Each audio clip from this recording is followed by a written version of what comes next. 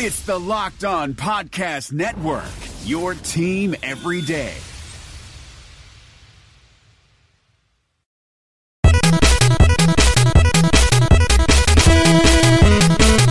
Welcome in, everybody. What's going on? It's the Locked On Eagles podcast. Louis DiBiase joining you in studio. As always, happy opening training camp day, ladies and gentlemen of Birds Nation, Eagles Mafia, whatever you want to call this incredible fan base. We are finally here. We all have been waiting for this now for months, seemingly, with the Eagles and this dead period getting to the football season has been a grind. We've had fun here in the Locked On Eagles podcast, continuing to do all these shows for you, but I can't tell you how refreshed I feel on today's show because we actually get to recap significant things that happened on the football field at NovaCare Complex today as the Eagles opened up training camp officially day one today. They hit the practice field at noon. Doug Pederson and Carson Wentz talk to the media. We'll get some of their takeaways as well on the show today. We'll get into the play by play by the beats. We're going to get into what happened on the field today when it comes to, you know, significant plays that were made, formations.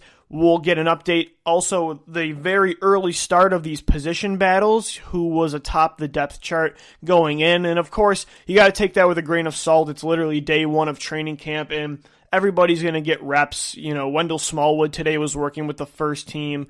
Sproles was as well. Miles Sanders, Jordan Howard. So all the running backs seemingly got first team reps. I hope that's not a sign that they're literally going to just be rotating four or five running backs this year, but that's what we're going to get into today. We're going to recap day one of training camp. And hey, if you want up to date news throughout training camp, play by play, positional updates, uh, injury news, videos of specific plays. We have now officially unveiled our 2019 Eagles training camp tracker. Make sure you check that out on lockedoneagles.com. So if you're overwhelmed by all the content, all the different beat reporters that are posting stuff on Twitter, we're combining it all and collecting it for you on one tracker on lockedoneagles.com. So the biggest takeaways each day throughout training camp. You can find on our website lockedoneagles.com and we'll have the podcast posted up there as well because we're going to continue to do four to five shows a week here. They're not always going to be recaps of the day. We'll probably do a segment each day getting into the biggest takeaways of the practice but of course there are bigger topics to be had as well on the show. But that's why we created this training camp tracker for you is to stay up to date each and every day because there is only one open practice to the public as disappointing disappointing as that is, there is only one practice for the the fans. So us as the media, our job is to keep you in tune with what's going on with this 2019 Eagles team that clearly have very high expectations and that is exactly what the media asked Doug Pederson about today and Carson Wentz is how do you temper those expectations or how do you handle it? Because we have seen in the past, and I thought that's why it was really interesting that Doug Pederson emphasized, you know, blocking out the outside noise. Of course, that is coach speak 101. It is page one of the coach speak guidelines, but I actually took it to heart today with Doug Pederson blocking out that outside noise of the high expectations the Eagles have because he was there during the Dream Team year when seemingly those expectations definitely seeped inside the team. I mean, instantly you had the backup quarterback calling the team a dream team before they even played a single game. They were not coming off a Super Bowl run. They had lost in the wild card round of 2010. They didn't win a playoff game in 2009 either. So it wasn't like the Eagles were what they are now. That's why I feel more confident in the expectations this year is because the core of the team has done it before. We talked about that on a podcast about a month ago. So you can check that out in every one of our shows. If you subscribe on any podcast platform, just tell Siri or Alexa to play Locked on Eagles or whatever smart device you have. But I thought it was interesting because Doug Pederson was there during those Dream Team years. He was with Andy Reid on that coaching staff. And I really believe that noise, those expectations, while it wasn't all media based, a lot of it was self inflicted because the Eagles were just simply adding all these big names, all this talent from free agency into an already great offense with Michael Vick, LeSean McCoy, DeSean Jackson, Jeremy Maclin, Brent Celek, Jason Peters, the list goes on and on. So it was also self inflicted that, of course, they felt those expectations because they noticed who was coming in. They could tell the front office was trying to take that you know, next and final step to supplant the Green Bay Packers and win a Super Bowl. So Pederson was there. He saw how that affected him. So that's why today, when he said blocking the outside noise, you know, if it was Sean McDermott that said that, or Adam Gase, you know, or Chip Kelly, for that matter, when he was with Philadelphia, it wouldn't mean as much to me. But with Pederson and what he has experienced with this Eagles team, and also with what just the Eagles, a lot of these players have experienced, you know, you go to 2015 as well, the high expectations that team unjustly had, it really can affect teams if they let it bother them. And Carson Wentz was really emphasizing the same thing. That is clearly the goal in mind is the day to day get better. Pederson talked about getting 1% better every day. But the players, there's been people that experienced the 2011 season, the 2015 season. Some experienced both. You know, when we're talking about a guy like Jason Peters and Brandon Graham, you know, those guys experienced both of those. So you know, the media, of course, you can't help it on paper. Me and Gino have been talking about it all offseason long, just how damn good this team is on paper at literally every single position. And the media, I mean, of course, I would ask the same question. You can't help but ask these guys, hey, Carson Wentz, you have like 10 legitimate offensive weapons this year. I mean, how do you feel about that? How are you going to spread the football around? How do you keep everybody happy? So I would have asked the same questions, but that is definitely what the theme of this offseason offseason has been because they they do have expectations this year, and rightfully so. I mean, this team won a Super Bowl two years ago. Last year, despite going nine and seven, they were a player two away from making the NFC Championship game with Nick Foles again at at the helm. So, you know, I thought it was interesting. They know how talented they are, but you know, if this team doesn't gel, it could be 2011 all over again. You saw all those players coming in from free agency. They hadn't grown together. They hadn't gone through what this team had gone through the past two seasons. And again, that's the that's the great part about this is this isn't a brand new team. You know, there are new pieces. I would even, you know, DeSean Jackson was with the Eagles, but this is a new Eagles team that he's with. He was teammates with Jason Peters and Graham and you know, he was with Pederson when Pederson was on the coaching staff in the early 2010s. But, you know, DeSean's new, Jordan Howard is new. You know, there's there's pieces that are new. Miles Sanders for sure, Malik Jackson, Zach Brown. But at the same time, you still have Malcolm Jenkins. You still have your entire, basically your entire offensive and defensive line are still intact from your championship year. Your linebacker and Nigel Bradham, your cornerbacks, your offense. So that's that's the encouraging part. But I do really actually take to heart Pederson saying that they need to block that outside noise because instantly when he said that, I thought, yep. I imagined Vince Young and that dumb Eagles visor from 2011 and chuckling in the stupid way he did and saying Dream Team, and that was that was almost the end of it immediately. And then Michael Vick did the the same thing the next year, where it was again self inflicted, where he called it the Redeem Team. When you place these labels on you, when you make this added pressure to the team, it definitely affects them. So that was the biggest takeaway for Carson Wentz and Doug Pederson at the podium today with the press conferences. We're going to take a quick break here on Locked On Eagles. When we come back, We'll get into some of the positional battles, the updates with that, some injury updates to get into as well, and then we'll wrap up the show by actually getting into the play by play of what happened on the field today, day one of Eagles training camp. Don't go anywhere, anywhere ladies and gentlemen. This is the Locked On Eagles podcast. Louis DiBiase joining you on this Thursday edition of the show. College football fans, Locked On is now Locked On SEC and Locked On Big Ten Football hosted by Dave Hooker with college football expert Chris Landry. Landry has been a scout, a coach, a front office executive, and still today consults NFL and college programs. He brings an angle that gives you the best insight around on the SEC and Big Ten. Follow on your preferred podcast provider at Locked On SEC and Locked On Big Ten. All right, ladies and gentlemen, Eagles fans all across the globe, we see you in Poland, we see you in Sweden, we see you in New Zealand and in Great Britain and Canada and Mexico and Haiti, around the world. You guys, there's Eagles fans all across this big blue marble, and we appreciate you guys listening in as we are recapping day one of Eagles training camp. And once again, as I teased in the first segment, check out our training camp tracker. We got play by play from all the beat writers. We've got injury updates. We've got videos. You know, the Eagles did a live stream of the beginning of practice, at least before they actually got into the plays.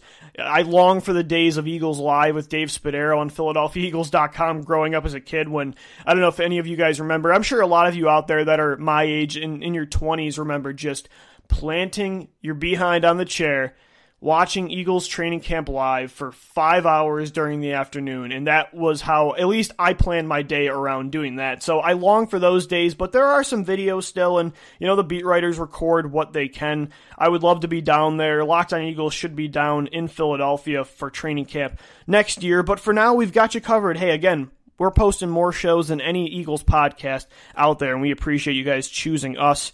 Uh, CB Wars was really fun yesterday. Make sure you check that out. But for today, I mean, there were some interesting things. First off, just on the injury front, Jalen Mills was placed on the PUP list. I don't know if he's going to get that job back if he doesn't get back there in time. As for Ronald Darby, though, some big news for Darby. It was expected, we talked about on the show the other day, it was expected that Darby would also start off the year on the PUP list, recovering from a torn ACL. That is actually not the case. Darby did practice in limited fashion, which uh, is pretty interesting. I did not think he didn't he didn't play uh, he didn't practice 11 on 11s but he was limited. I thought he was going to start off on the PUP. That's huge for Darby. Like I said on the show yesterday, he's going to get one of those starting outside jobs. But with Maddox, Sidney Jones, and Rasul Douglas all looking pretty good this summer at mini camp and now day one of camp, it's early. But if Mills does not get healthy soon, he's going to maybe have to bank on his relationship with Jim Schwartz to win him a job. We'll get into some more of the Eagles' uh, cornerback position later on in the show with these positional battles, the updates there. But one thing I gotta say, we gotta give a tip of the cap to Brandon Brooks. He tore his Achilles six months ago. As someone that's never torn a ligament, I can't really relate to that, but we all know how serious Achilles injuries are. Look at what it's done to Sidney Jones.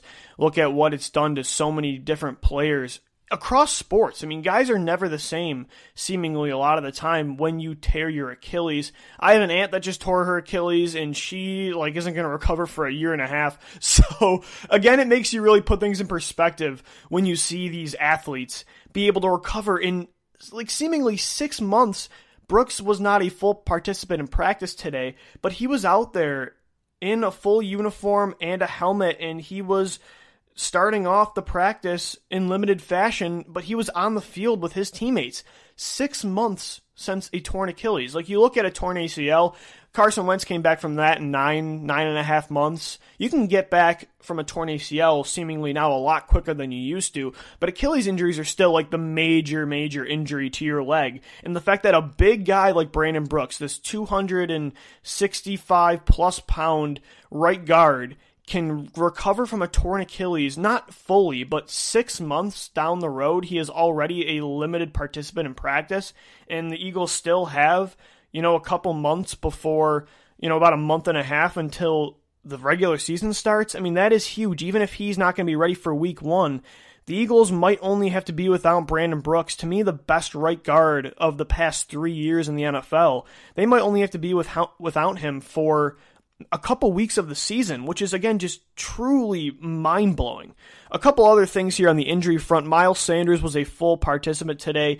He was kind of dealing with a hamstring injury throughout the end of mini camp. So, you know, Doug Pederson talked about it today, how he was a little behind. As a rookie, of course, you want to get him out on the field and really get him progressing with this new look offense. But Sanders was a full go today as well. And, you know, to get into these positional battles, we talk about the running back position and how, you know, there's four four guys now that could be part of this rotation, and then there's three other guys that have, you know, been playmakers on the field before in the past. I don't want to call Wendell Smallwood a playmaker, but he has played significant a significant role with the Eagles the past couple years at running back and seemingly continues to stick on the roster. And, you know, Josh Adams last year led the Eagles in rushing, and while he tailored off down the stretch, he really struggled.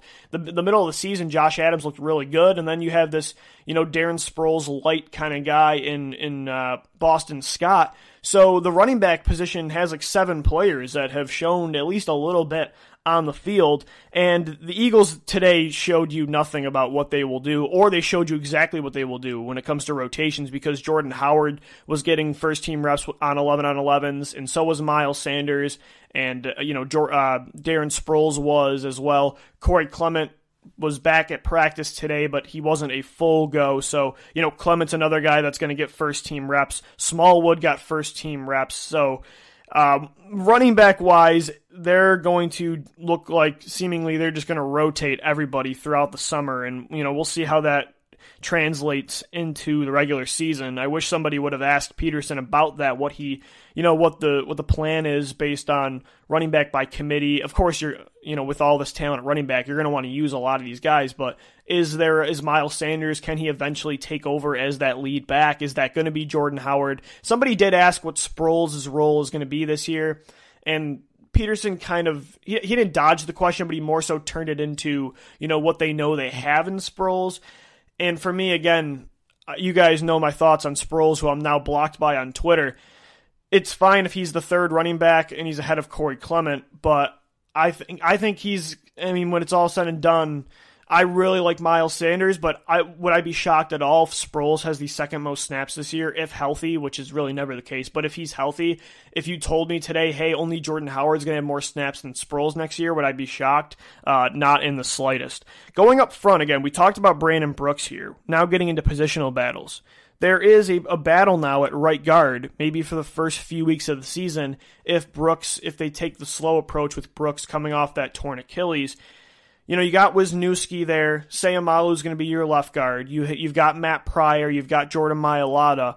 But of course, here's now Halapoulivaati Vaitai, who has been your swing left tackle, right tackle, coming in for Lane Johnson in 2016, coming in for Jason Peters in 2017.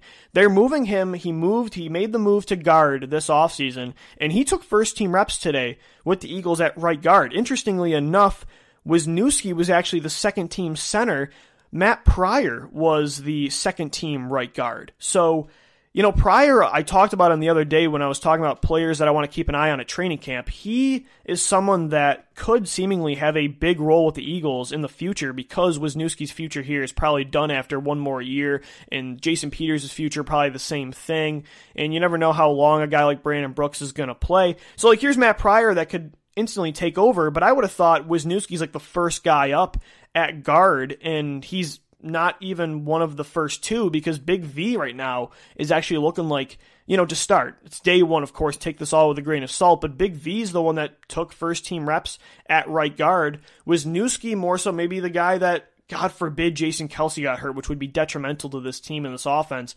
If Jason Kelce got hurt, Wisniewski right now is the uh, second team center, so maybe they're deciding to take the move there. And who knows, maybe if Seumalo got hurt, Wisniewski won a Super Bowl with the Eagles as a starting left guard. But as of right now, as of day one, Big V's the guy at right guard with the first team Pryor taking second team reps, and Wisniewski was the second team center. So definitely interesting to keep an eye on the interior of the offensive line here as Brooks continues to recover from this torn ACL.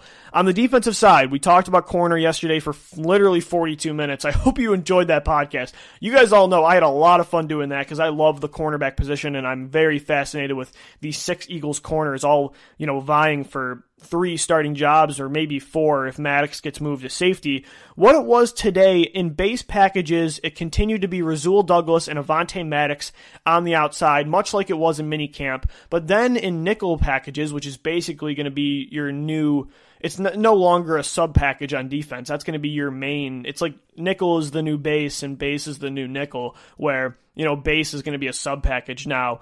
So Maddox went inside sometimes in the in minicamp mostly he was your slot corner and nickel. I think that's if he doesn't move to safety, that's probably what's going to happen. And Sidney Jones was playing on the outside with Rasul Douglas, and that that's the dream for me and Gino is Sidney Jones and Rasul on the outside with Maddox inside. But the Eagles did something interesting today too, though. They had Sidney Jones taking reps inside with Maddox on the outside.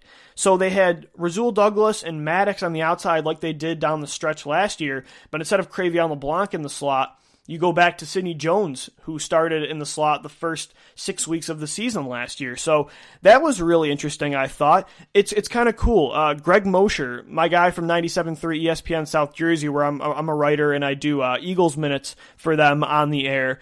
He's a, a great Eagles independent reporter right now that also does on air work for 97.3 he kind of compared it to how in the past there was, you know, Lito Sheppard, Asante Samuel, and Sheldon Brown. And, you know, in main packages, it would be Sheldon Brown on the outside and Asante Samuel. But then in the nickel, instead of keeping Sheldon Brown on the outside, they would push him inside and they would have Lito Sheppard come in on nickel packages and play outside corner. And how he compared that to now, the, how the Eagles could maybe do the same thing. You know, Avonte Maddox and Darby, those two are going to play. But Mosher made the interesting take that, hey, in base packages, they're not going to want to take Maddox off the field, so he'll be your outside corner. But then in nickel packages, you might move him inside all the time and have Sidney Jones or Rasul Douglas or Jalen Mills be that other outside corner, whoever wins that battle. So that was really interesting because you would think with Jim Schwartz, he doesn't like to, you know, affect multiple positions at one time. It's why he refused to not have Dexter McDougle in the slot last year for a couple weeks instead of putting uh, Darby or Mills inside and having Rasul come in for the outside, which drove me nuts. But it's kind of interesting that he is experimenting with this. Him and Cory Undlin are deciding that, hey, actually, in base packages, we don't want to put Maddox on the sideline, so let's have him as your outside corner. But then, in the majority of the time on defense, when we have three corners or four corners out there, he'll play in the slot and you know a Rasul Douglas or a Sidney Jones would end up coming in on the outside. I really like that idea. I just hope the guy that ends up coming in is not Jalen Mills. So if they don't move Maddox to safety, I really like that idea because for as much as I love Douglas and I love Jones and their potential, you, you can't you can't deny what you saw on the field with Avonte Maddox last year, and it makes perfect sense that outside of Ronald Darby, the Eagles probably are prioritizing Maddox being on the field this year at corner more so than any of the guys. So that's what happened today. Maddox and Douglas were the lead two guys. That's that's going to be the thing. I mean, Jones came in on, on nickel packages, which is really a promising sign. But he, I mean, for guys saying that oh Jones is like the fifth corner now, he was never going to come in to start this summer ahead of Douglas and Maddox after the seasons that they had last year, or Darby and Mills. I mean, Jones being the injured player he was and hasn't proven a whole lot. He's shown some promise, but he's got to he's got to prove on the field, and and he he has the opportunity this summer. But he was never going to start training camp as one of your first team guys ahead of Douglas or Maddox. Now, in a month, is he ahead of one of those guys? I wouldn't be surprised at all. You guys already know. I think he has the highest ceiling of any of these players. So that's an update on the cornerback battle. Day one here. We'll continue to track the CB Wars as the summer goes on. We're going to take one more break here. When we come back, let's get into some of the play by play. Let's see what actually happened in 11 on 11 drills, day one of training camp for the Philadelphia Eagles at the NovaCare Complex. Don't go anywhere. This is the Locked On Eagles podcast. All right, now is the most fun time of the episode for me. I have been in love with training camp play by play tweets since 2012 when I joined Twitter. and I, I, like this is for the true Eagles nerds out there, but I feel like for me, if you listen to Locked On Eagles, you are a nerdy, diehard Eagles fan because we're posting four or five podcasts a week. you know, it doesn't matter. It, it can be the the thick of the dead zone, and we're still posting. We're still talking about Locked On Corey Clement, and we're doing stat predictions and talking about if you know, certain Eagles will break records and we're doing like ultimate offenses. So I already feel like if you're a loyal listener to this podcast, you're a big time Eagles nerd and you are with the perfect show then because me and Gino and Lars, biggest Eagles nerds you'll find. And one of one thing that comes with being that extreme football Eagles nerd, is loving the play by play tweets from the beat reporters at training camp. And, you know, the dream for me is to be down there next year and to be one of those guys for you. Um, but for this year, we're tracking it on the training camp tracker. And, you know, it was uh, it was a great day, I would say, on the field for Carson Wentz. Carson Wentz continued his hot summer. He was great at mini camp. He is he looks very much at full health right now, coming off that back injury. He put a pass perfectly over the shoulder of two defenders, right into the hands of Nelson Agholor, who leaped over the cornerback and made a play 20 plus yards down the field.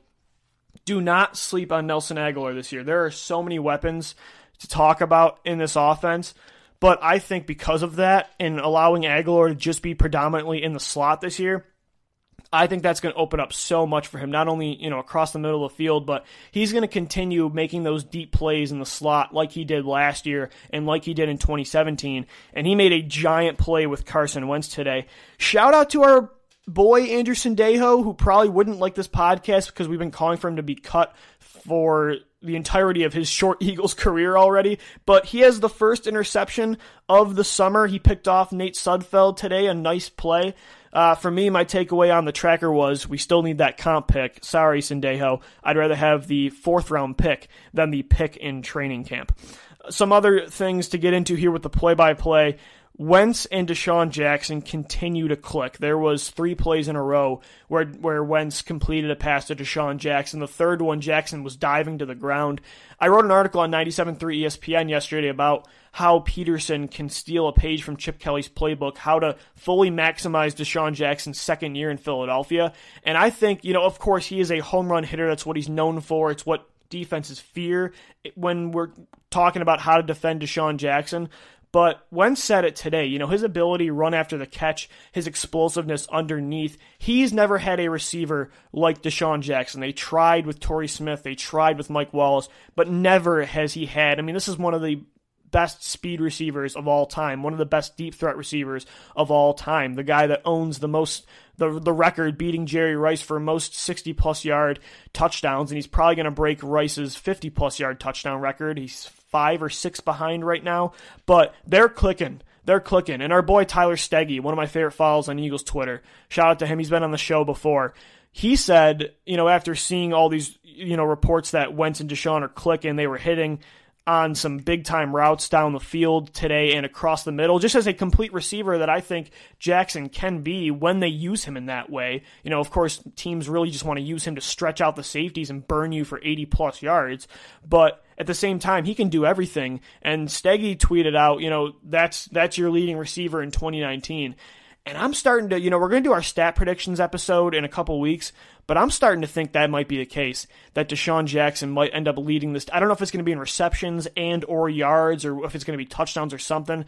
But DeSean Jackson's going to lead this team in at least one or two categories in 2019. Wentz has really clicked with him. And again, he's the kind of receiver that Wentz should click with. You know, a speed receiver. Wentz loves to push the ball down the field, but also just the routes that DeSean has the most success with. They're also the same routes that Carson Wentz has the most success with. So it's not a shock at all that these guys continue to grow this chemistry that they have. And the nostalgia and the emotion of everybody seeing that live part of the live stream, DeSean Jackson calling for it deep when they're just you know they're just warming up. But Carson Wentz is like 50 yards away from Jackson, and Jackson does the you know throw it up, and Wentz puts it right on the money, and it's just ah. Uh, I can't, you know, we uh, here's here's an early toast to all the Wentz to DeSean Jackson bombs that we could see in 2019, and they were uh, they started off training camp very hot. They were clicking together today, and then uh, a big play for our guy Sidney Jones. He had a big time pass breakup on a throw across the middle from Nate Sudfeld to Sony Michel's brother Marken Michel, who right now is on the roster bubble, trying to maybe beat out Shelton Gibson and Greg Ward and you know Braxton Miller for that sixth receiver spot. But uh, Sidney Jones got the best of him on a play, coming across, swatting it down. These are the kind of plays Jones needs to make early. You know, like we said, right now he's behind Maddox and Douglas and probably Darby and Mills.